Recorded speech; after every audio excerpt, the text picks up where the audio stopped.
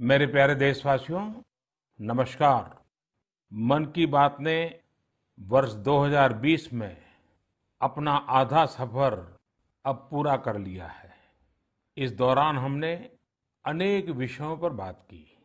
स्वाभाविक है कि जो वैश्विक महामारी आई, मानव जाति पर जो संकट आया, उस पर हमारी बातचीत कुछ ज़्यादा ही रही। लेकिन इन दिनों मैं देख रहा हूँ लगातार लोगों में एक विषय पर चर्चा हो रही है कि आखिर ये साल कब बीतेगा? कोई किसी को फ़ोन भी कर रहा है तो बातचीत इसी विषय से शुरू हो रही है। ये साल जल्दी क्यों नहीं बीत रहा? कोई लिख रहा है, दोस्तों से बात कर रहा है, कह रहा है कि ये साल अच्छा नहीं है। कोई कह रहा है 2020 शुभ नहीं है बस लोग यही चाहते हैं कि किसी भी तरह से ये साल जल्द से जल्द बीत जाए। साथियों कभी कभी मैं सोचता हूँ कि ऐसा क्यों हो रहा है? हो सकता है ऐसी बातचीत के कुछ कारण भी हो। छह सात महीना पहले ये हम कहाँ जानते थे कि कोरोना जैसा संकट आएगा और इसके खिलाफ ये लड़ाई इतनी लंबी चलेगी। ये संकट तो बना ही हुआ है ऊपर से देश में नीत नई चुनौतियाँ सामने आती जा रही हैं। अभी कुछ दिन पहले देश के पूर्वी छोर पर साइक्लोन अम्फान आया तो पश्चिमी छोर पर साइक्लोन निसर्ग आया। कितने ही राज्यों में हमारे किसान भाई बहन टिड्डी दल के हमले से परेशान है, और कुछ नहीं तो देश के कई हिस्सों में छोटे छोटे भूकंप रुकने का ही नाम नहीं ले रहे हैं। और इन सब के बीच हमारे कुछ पड़ोसियों द्वारा जो हो रहा है, देश उन चुनौतियों से भी निपट रहा है। वाकई, एक साथ इतनी आपदाएँ, इस स्तर की आपदाएँ बहुत कम ही देखने सुनने को मिलती है।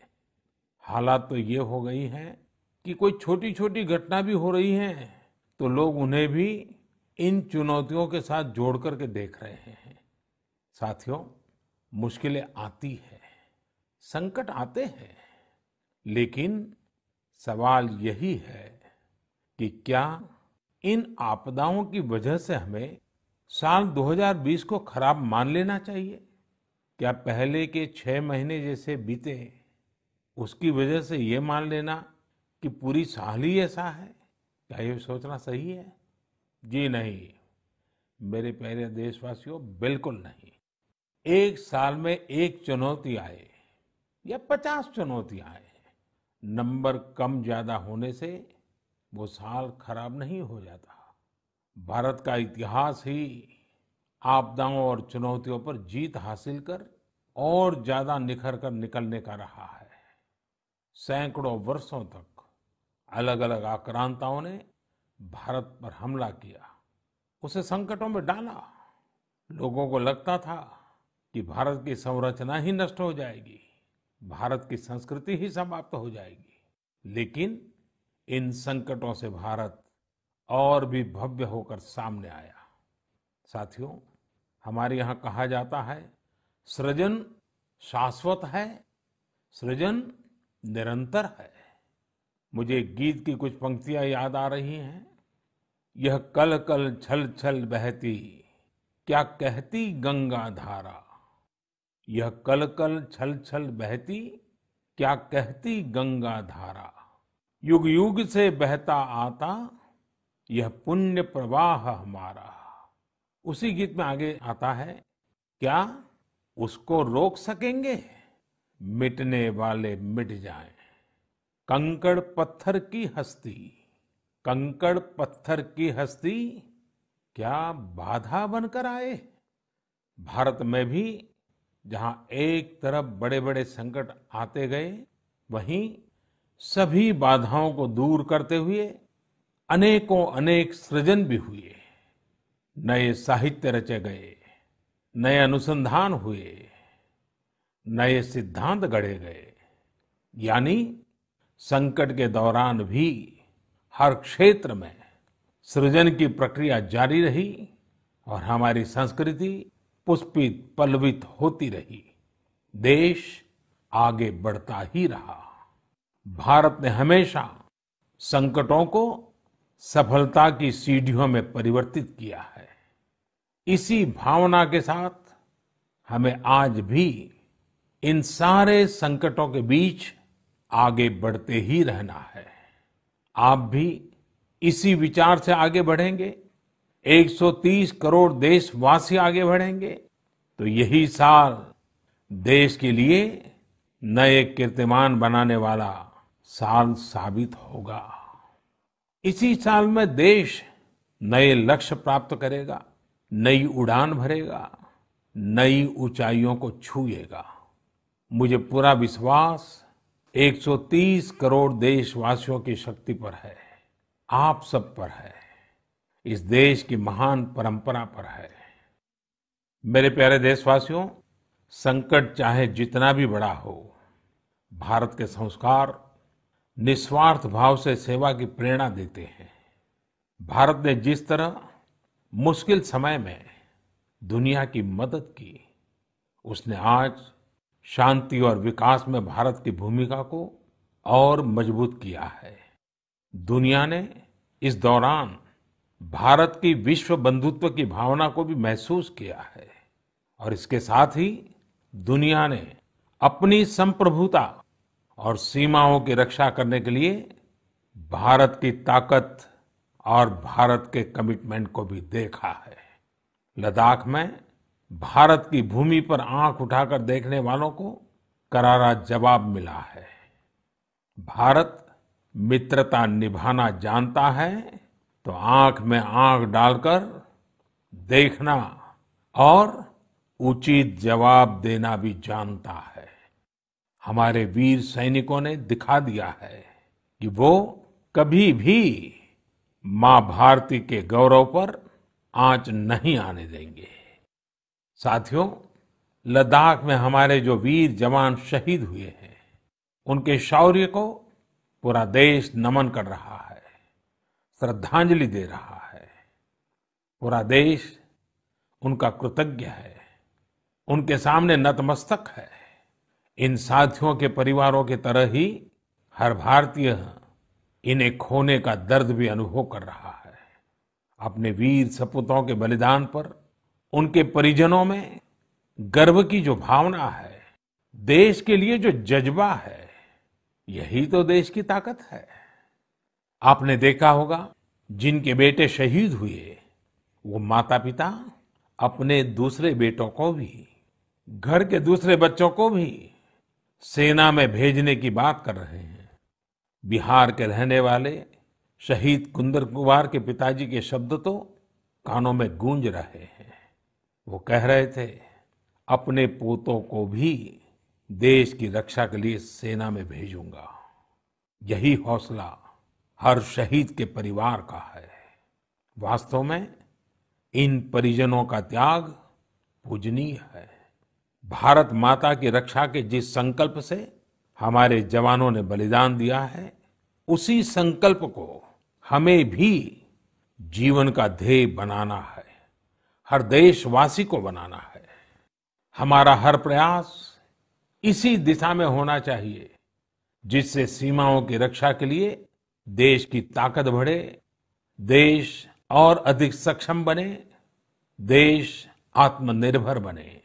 यही हमारे शहीदों को सच्ची श्रद्धांजलि भी होगी। मुझे असम से रजनी जी ने लिखा है कि उन्होंने पूर्वी लद्दाख में जो कुछ हुआ, वो देखने के बाद एक प्रण लिया है। प्रण ये कि वो लोकल ही खरीदेंगे, इतना ही नहीं। लोकल के लिए वोकल भी होगी। ऐसे संदेश मुझे देश के हर कोने से आ रहे हैं। बहुत से लोग मुझे पत्र लिखकर बता रहे हैं कि वो इस और बढ़ चले हैं। इसी तरह तमिलनाडु के मदुरई से मोहन रामामूर्ति जी ने लिखा है कि वो भारत को डिफेंस के क्षेत्र में आत्मनिर्भर बनते हुए देखना चाहते हैं। साथियों आज़ादी के पहले हमारा देश डिफेंस सेक्टर में दुनिया के कई देशों से आगे था। हमारे यहाँ अनेकों ऑर्डिनेंस फैक्ट्रियाँ होती थी।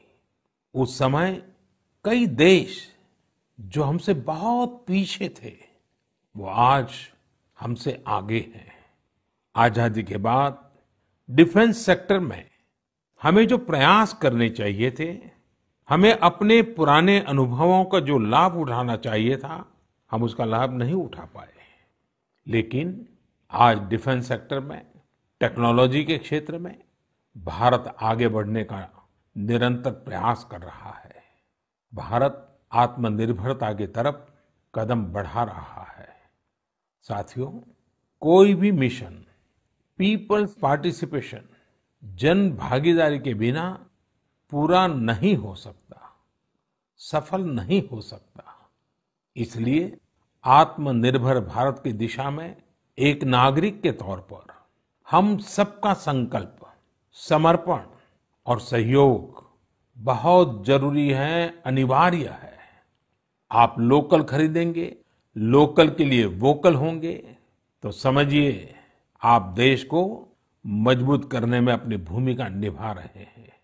ये भी एक तरह से देश की सेवा ही है। आप किसी भी प्रोफेशन में हो, हर एक जगह देश सेवा का बहुत स्कोप होता ही है। देश की आवश्यकता को समझते हुए जो भी कार्य करते हैं, वो देश की सेवा ही होती है। आपकी यही सेवा देश को कहीं न कहीं मज़बूत भी करती है। और हमें ये भी याद रखना है हमारा देश जितना मज़बूत होगा, दुनिया में शांति की संभावनाएँ भी उतनी ही मज़बूत होगी। हमारे यहाँ कहा जाता है, विद्या विवादाय धनम मदाय। विद्या विवादाय धनम मदाय। शक्ति ही परेशान परिपीडनाय। खलस्य साधो, विपरीतम एतत्। ज्ञानाय, दानाय च रक्षणाय। अर्थात, अगर स्वभाव से दुष्ट है तो विद्या का प्रयोग, व्यक्ति, विवाद में, धन का प्रयोग, घमंड में और ताकत का प्रयोग दूसरों को तकलीफ़ देने में करता है। लेकिन सज्जन की विद्या, ज्ञान के लिए, धन, मदद के लिए और ताकत रक्षा करने के लिए इस्तेमाल होती है। भारत ने अपनी ताकत हमेशा इसी भावना के साथ इस्तेमाल की है। भारत का संकल्प है, भारत के स्वाभिमान और संप्रभुता की रक्षा। भारत का लक्ष्य है आत्मनिर्भर भारत। भारत की परंपरा है भरोसा, मित्रता। भारत का भाव है बंधुता। हम इन्हीं आदर्शों के साथ आगे बढ़ते रहेंगे। मेरे प्यारे देशवासियों, कोरोना के संकट काल में देश लॉकडाउन से बाहर निकल आया है। अब हम अनलॉक के दौर में हैं। अनलॉक के समय में दो बातों पर बहुत फोकस करना है। कोरोना को हराना और अर्थव्यवस्था को मज़बूत बनाना, उसे ताकत देना। साथियों, लॉकडाउन से ज़्यादा सतर्कता हमें अनलॉक के दौरान बरतनी है। आपकी सतर्कता ही आपको कोरोना से बचाएगी। इस बात को हमेशा याद रखिए कि अगर आप मास्क नहीं पहनते हैं, दो गज की दूरी का पालन नहीं करते हैं, या फिर दूसरी ज़रूरी सावधानियाँ नहीं बरतते हैं तो आप अपने साथ साथ दूसरों को भी जोखिम में डाल रहे हैं। खास तौर पर घर के बच्चों और बुज़ुर्गों को। इसीलिए सभी देशवासियों से मेरा निवेदन है, और ये निवेदन मैं बार बार करता हूँ, और मेरा निवेदन है कि आप लापरवाही मत बरतिए, अपना भी ख्याल रखिए, और दूसरों का भी। साथियों, अनलॉक के दौर में बहुत सी ऐसी चीज़ें भी अनलॉक हो रही हैं जिनमें भारत दशकों से बंधा हुआ था। वर्षों से हमारा माइनिंग सेक्टर लॉकडाउन में था। कॉमर्शियल ऑक्शन को मंजूरी देने के एक निर्णय ने स्थिति को पूरी तरह से बदल दिया है। कुछ ही दिन पहले स्पेस सेक्टर में ऐतिहासिक सुधार किए गए। उन सुधारों के ज़रिए वर्षों से लॉकडाउन में जकड़े इस सेक्टर को आज़ादी मिली। इससे आत्मनिर्भर भारत के अभियान को न केवल गति मिलेगी, बल्कि देश टेक्नोलॉजी में भी एडवांस बनेगा। अपने कृषि क्षेत्र को देखें तो इस सेक्टर में भी बहुत सारी चीज़ें दशकों से लॉकडाउन में फंसी थी। इस सेक्टर को भी अब अनलॉक कर दिया गया है। इससे जहाँ एक तरफ़ किसानों को अपनी फ़सल कहीं पर भी, किसी को भी बेचने की आज़ादी मिली है, वहीं दूसरी तरफ़ उन्हें अधिक ऋण मिलना भी सुनिश्चित हुआ है। ऐसे अनेक क्षेत्र हैं जहाँ हमारा देश इन सब संकटों के बीच ऐतिहासिक निर्णय लेकर विकास के नए रास्ते खोल रहा है। मेरे प्यारे देशवासियों, हर महीने हम ऐसी खबरें पढ़ते और देखते हैं जो हमें भावुक कर देती है। यह हमें इस बात का स्मरण कराती है कि कैसे हर भारतीय एक दूसरे की मदद के लिए तत्पर है। वह जो कुछ भी कर सकता है, उसे करने में जुटा है।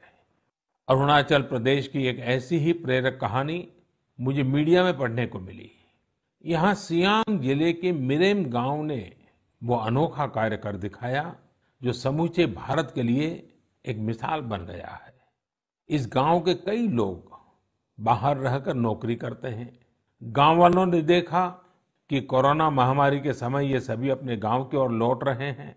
ऐसे में गाँव वालों ने पहले से ही गाँव के बाहर क्वारंटीन का इंतज़ाम करने का फैसला किया। उन्होंने आपस में मिलकर गाँव से कुछ ही दूरी पर चौदह अस्थायी झोपड़ियाँ बना दी और ये तय किया कि जब गाँव वाले लौटकर आएँगे तो उन्हें इन्हीं झोपड़ियों में कुछ दिन क्वारंटीन में रखा जाएगा। उन झोपड़ियों में शौचालय, बिजली, पानी समेत दैनिक ज़रूरत की हर तरह की सुविधा उपलब्ध कराई गई। ज़ाहिर है, मिरेम गाँव के लोगों के इस सामूहिक प्रयास और जागरूकता ने सबका ध्यान अपनी ओर आकर्षित कर लिया। साथियों, हमारे यहाँ कहा जाता है, स्वभावम न जहाति एव, साधु आपद गतो भी सन।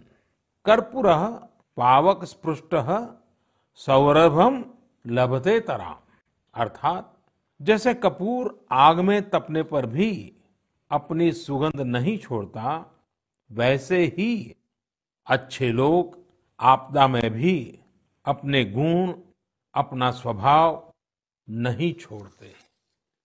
आज हमारे देश की जो श्रम शक्ति है, जो श्रमिक साथी हैं, वो भी इसका जीता जागता उदाहरण है। आप देखिए, इन दिनों हमारे प्रवासी श्रमिकों की ऐसी कितनी ही कहानियाँ आ रही हैं जो पूरे देश को प्रेरणा दे रही है। यूपी के बाराबंकी में गाँव लौटकर आए मजदूरों ने कल्याणी नदी का प्राकृतिक स्वरूप लौटाने के लिए काम शुरू कर दिया। नदी का उद्धार होता देख आसपास के किसान, आसपास के लोग भी उत्साहित हैं। गाँव में आने के बाद क्वारंटीन सेंटर में रहते हुए, आइसोलेशन सेंटर में रहते हुए हमारे श्रमिक साथियों ने जिस तरह अपने कौशल्य का इस्तेमाल करते हुए अपने आसपास की स्थितियों को बदला है। वो अद्भुत है। लेकिन साथियों, ऐसे कितने ही किस्से कहानियाँ देश के लाखों गाँवों के हैं जो हम तक नहीं पहुँच पाए हैं। जैसा हमारे देश का स्वभाव है, मुझे विश्वास है साथियों, कि आपके गाँव में भी, आपके आसपास भी ऐसी अनेक घटनाएँ घटी होगी। अगर आपके ध्यान में ऐसी बात आई है तो आप ऐसी प्रेरक घटना को मुझे ज़रूर लिखिए। संकट के इस समय में ये सकारात्मक घटनाएँ, ये कहानियाँ औरों को भी प्रेरणा देगी। मेरे प्यारे देशवासियों, कोरोना वायरस ने निश्चित रूप से हमारे जीवन जीने के तरीकों में बदलाव ला दिया है। मैं लंदन से प्रकाशित फाइनेंशियल टाइम्स में एक बहुत ही दिलचस्प लेख पढ़ रहा था। इसमें लिखा था कि कोरोना काल के दौरान अदरक, हल्दी समेत दूसरे मसालों की मांग एशिया के अलावा अमेरिका तक में भी बढ़ गई है। पूरी दुनिया का ध्यान इस समय अपनी इम्यूनिटी बढ़ाने पर है और इम्यूनिटी बढ़ाने वाली इन चीज़ों का संबंध हमारे देश से है।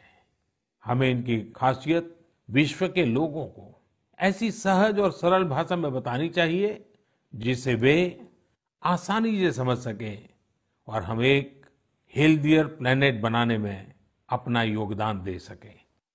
मेरे प्यारे देशवासियों, कोरोना जैसा संकट नहीं आया होता तो शायद जीवन क्या है? जीवन क्यों है? जीवन कैसा है?